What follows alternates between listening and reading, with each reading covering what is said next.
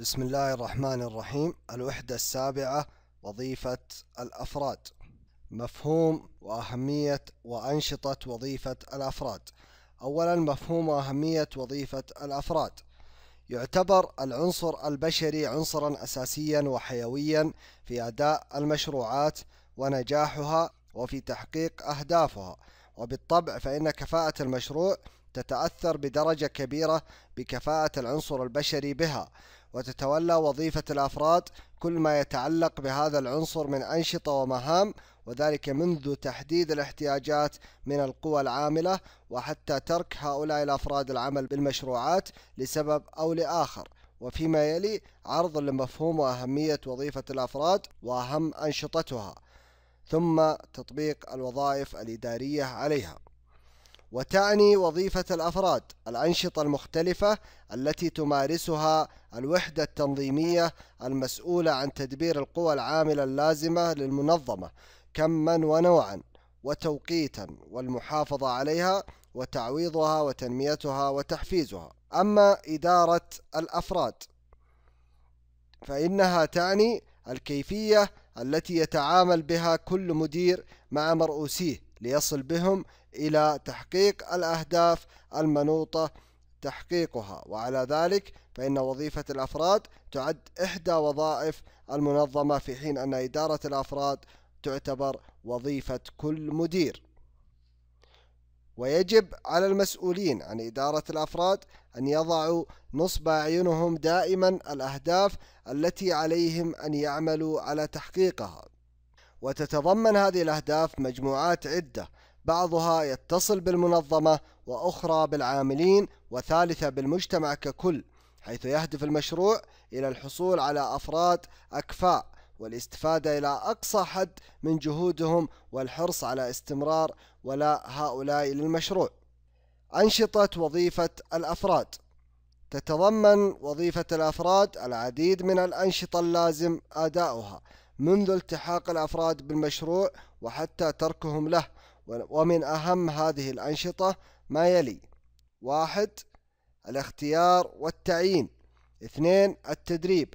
ثالثا تحديد الأجور والمرتبات والحوافز والمكافآت. رابعا الترقية. خامسا النقل. سادسا تقديم الخدمات للعاملين. سابعا وضع سياسة الإجازات. ثامنا تحديد الجزاءات. وتاسعا وضع سياسة الإحالة إلى التقاعد. وفيما يلي عرض مختصر لكل من هذه الأنشطة. أولا الاختيار والتعيين. يهتم المسؤولون عن الأفراد بالمشروع باختيار وتعيين أفضل عناصر القوى العاملة المتقدمين لشغل الوظائف لذا يجب تحديد شروط شغل الوظيفة والإعلان عنها وتلقي طلبات الالتحاق بها وفحصها وتحديد وتصميم الاختبارات والمقابلات التي تستخدم للحكم على المتقدمين وتقييمهم لشغل الوظيفة. ثانيا التدريب. يهدف التدريب إلى تزويد العاملين بالمعارف والمهارات الضرورية لممارسة أعمالهم مما يزيد من قدراتهم على أداء العمل. ثالثا تحديد الأجور والمرتبات والحوافز. يطلق لفظ الأجور على ما يحصل عليه العمال مقابل ما يقدمون من جهود للمشروع بينما يحصل الموظفون على مرتبات وعموما يجب مراعاة تناسب الأجر أو المرتب مع مقدار ما يبذله الفرد من جهد مع الأخذ في الاعتبار مستويات الأسعار السائدة والأجور والمرتبات التي يتم دفعها لشغلي وظائف مماثلة بالمشروعات الأخرى. كذلك لا بد من وضع نظام لتحفيز الأفراد ودفعهم على بعض على بذل المزيد من الجهد. رابعا الترقية.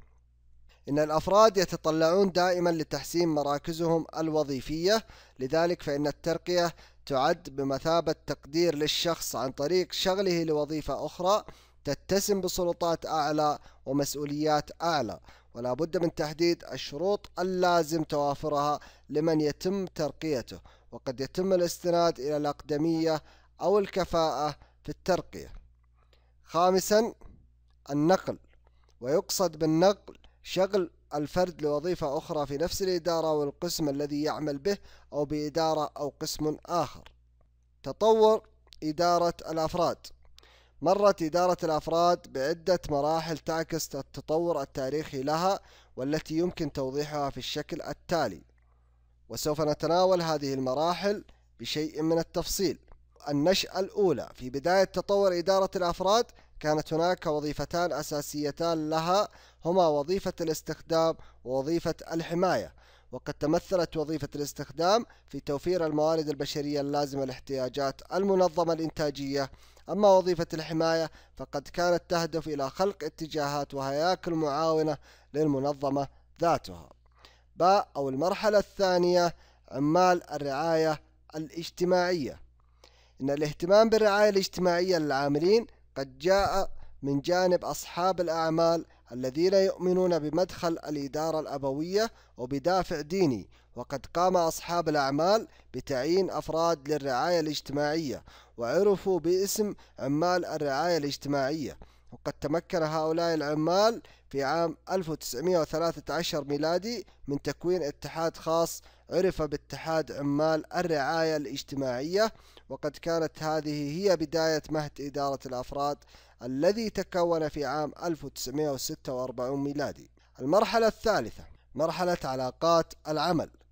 ترجع النشأة الأولى لوظيفة, لوظيفة علاقات العمل في إدارة الأفراد إلى أواخر القرن التاسع عشر حيث كان تعيين موظف للقيام بأعمال علاقات العمل منعا لتكوين تنظيمات عمالية مستقلة. وفي حين كان عمال الرعاية الاجتماعية يعدون العامل الطرف المتضرر والذي يحتاج إلى مساعدتهم فقد كان موظفو علاقات العمل يعدون صاحب العمل الطرف الذي تقدم إليه خدماتهم.